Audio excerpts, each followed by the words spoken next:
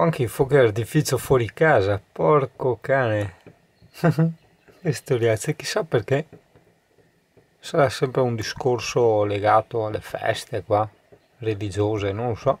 Sai, mi era venuta un po' di tristezza, diciamo, malinconia. Uh, perché io penso che il viaggiare dopo un po' diventa anche una rottura di palle. Eh, è una di quelle cose difficili da spiegare, ma ci proverò lo stesso. Eh, innanzitutto dobbiamo premettere come prima cosa che tutto quello che io dico, come sempre, è soggettivo, quindi stiamo parlando delle mie percezioni, delle mie emozioni, di, di tutto ciò che esce da me, quindi non è nessuna verità assoluta, ma è una verità relativa, ossia soggettiva, ossia mia. Quando tu parti per un viaggio, o nel mio caso per spostarmi, perché alla fine sono sempre in viaggio, vivo in camper, eh, è chiaro che si, si scatena l'effetto novità, no?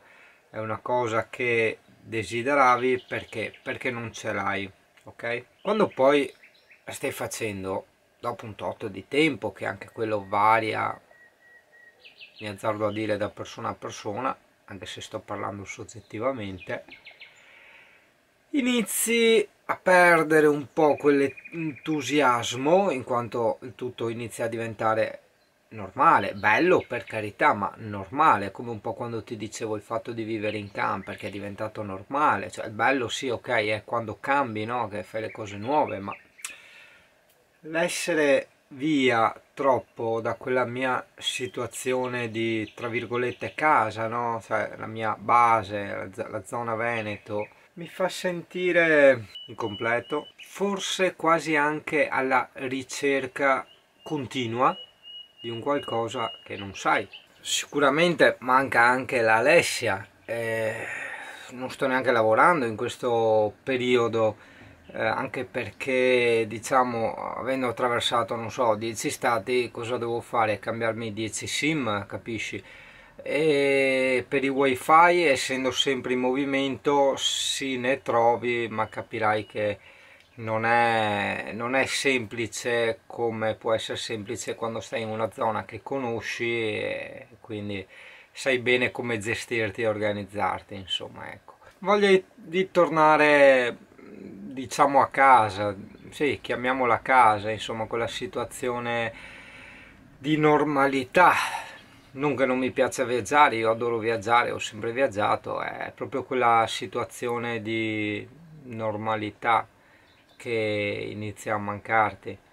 In fondo anche quando ero stato in Scozia, che ci ho vissuto lì, si era creata lì quella situazione di normalità, capisci? Quindi era già diverso, quello era diventata una casa.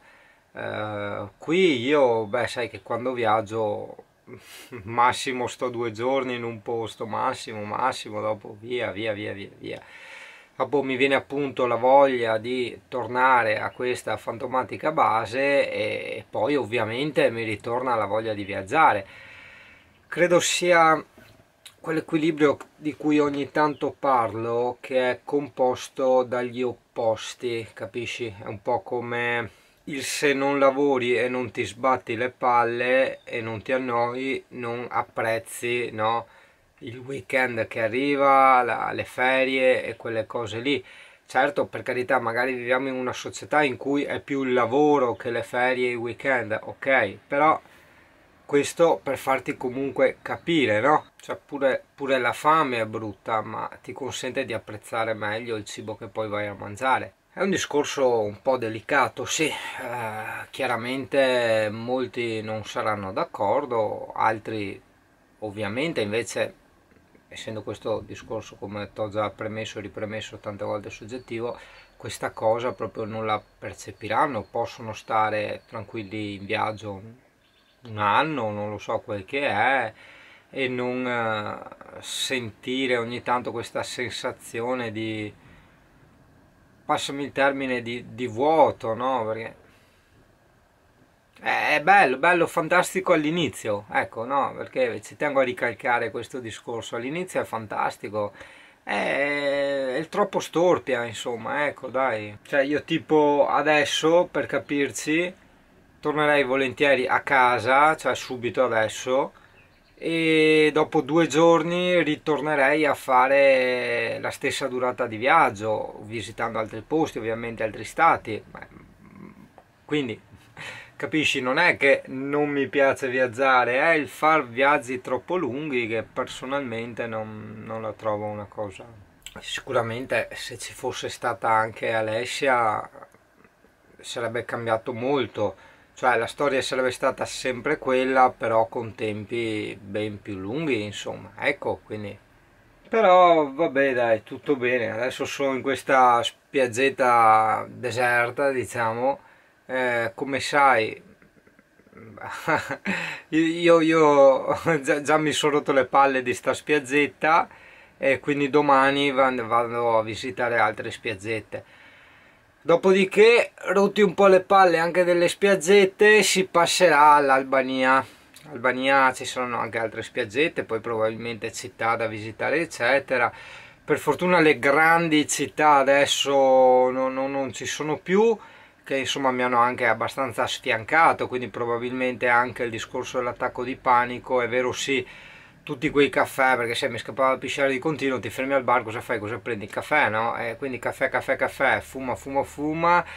Il caldo e l'estate è arrivato all'improvviso, tante cose a visitare, attento ai ladri, attento qua, attento là. E... Eh, adesso sarà una situazione più rilassante.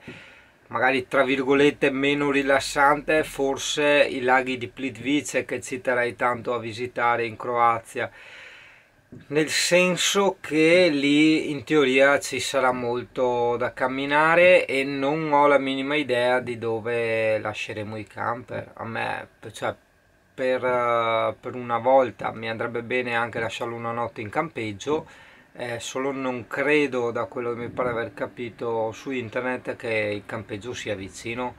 È vero che abbiamo le biciclette, però insomma dipende anche se sono 20 km, insomma, perché insomma Te capì?